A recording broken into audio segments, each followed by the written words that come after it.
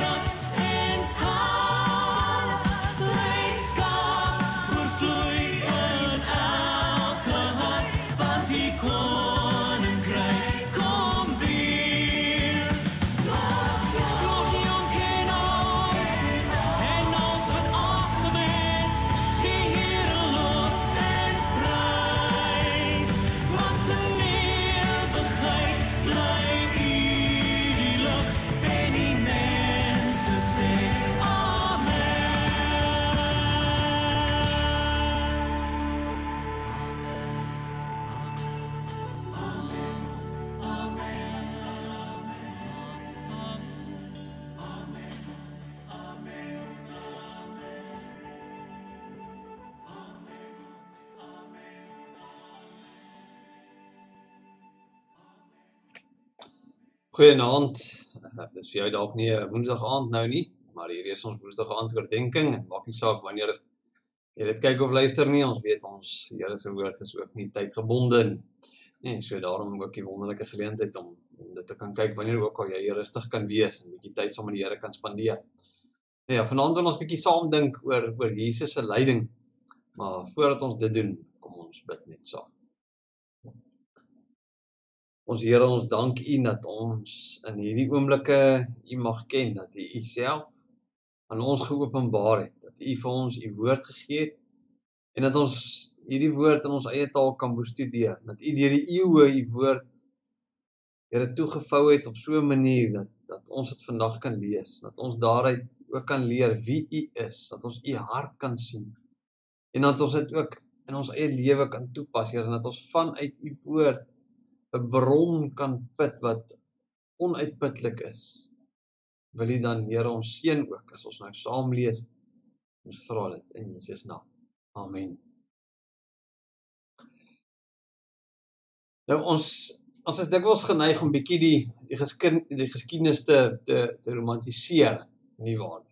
Nee, want ons as ons terugdink aan die geskiedenis dan vergeet ons eintlik so bietjie die die swaar kry en ons onthou eerder die mooi dinge en dit is sekerlik ook goed en reg, nê. Nee. Ons sien baie keer ook die die die swaar kry in die verlede in iets van 'n romantiese lig en dink dit was daarom nie vers, so verskriklik erg nie. Ons kleur bietjie die verlede in. Iemand het ons daarom gesê dat vandag se probleme is môre se goeie ou dae. En dit is maar dit is maar hoe dit is, nê. Nee. Ja ja, dieselfde gebeur ook wanneer ons dink oor die lyding van ons Here Jesus Christus. Want Ons kan immers nie anders as ons na die lyding van Jesus dink om terselfdertyd ook daarin te dink in die lig van die hemelvaart en die opstanding.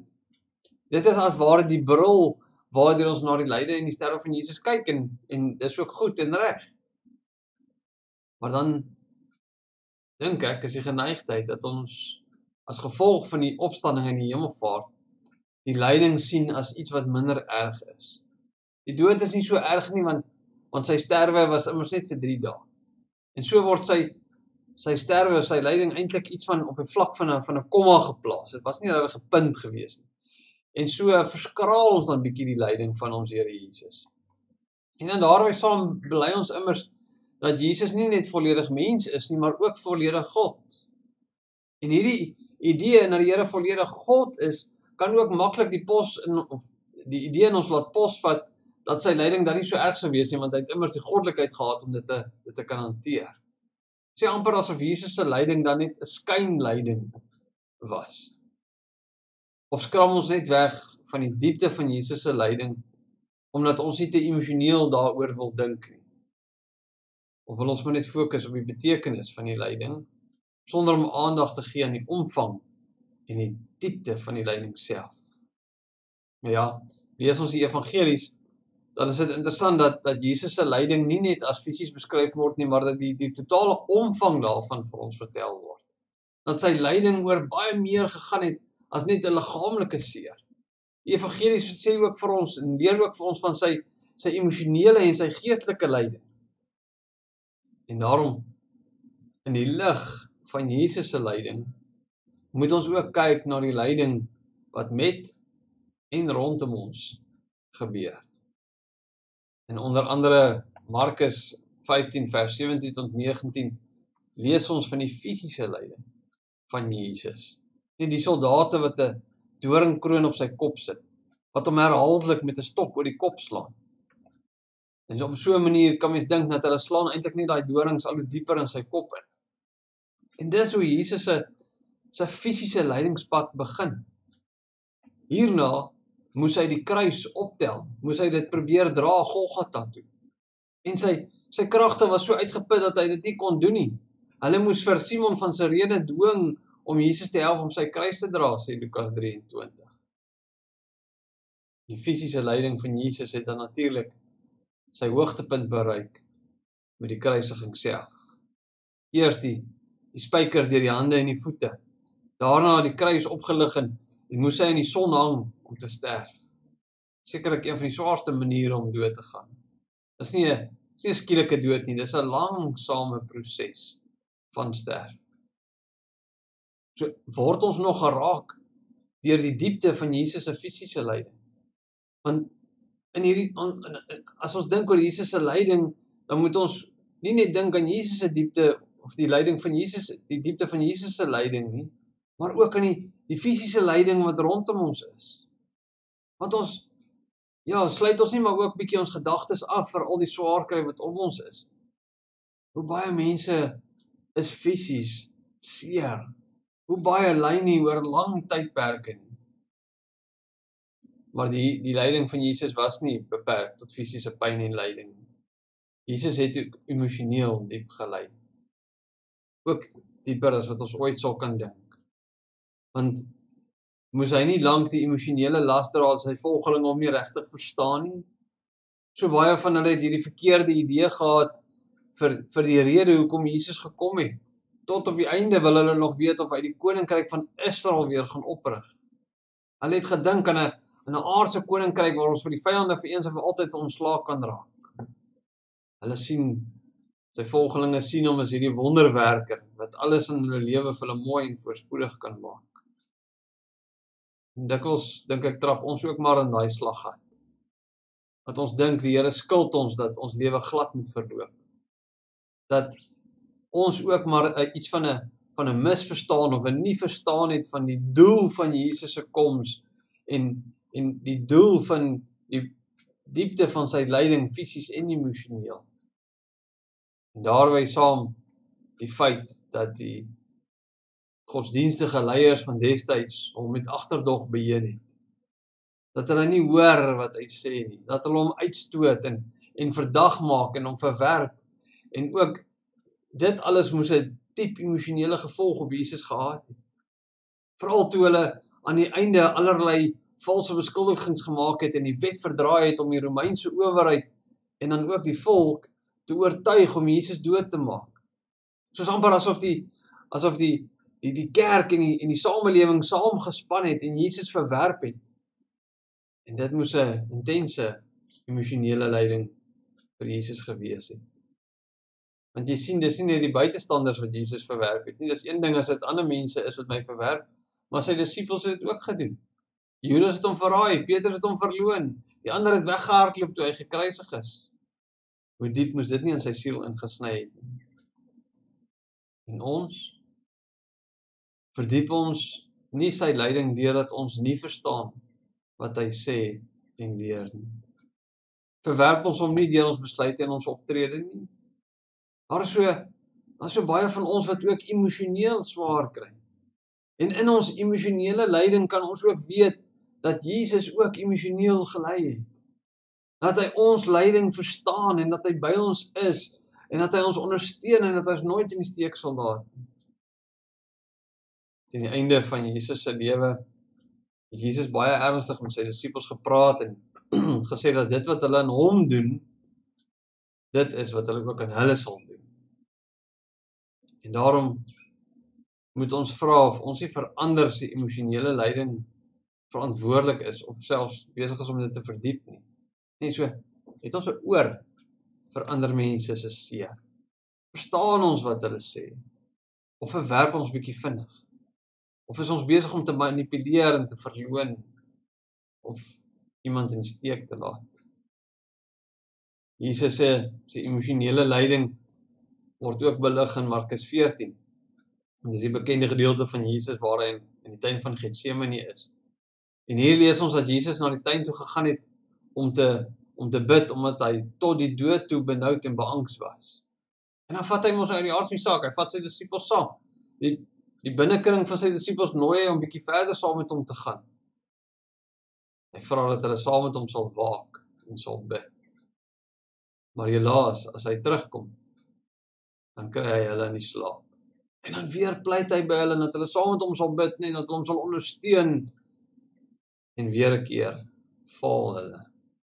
So Jesus se ondersteuningsgroep het nie gewerk nie. Hulle staan hom nie by in sy uur van nood nie. Praat van emosionele lyding, hoe erg moes dit nie gewees het nie. Hy staan en hy worstel alleen, niemand ondersteun hom nie.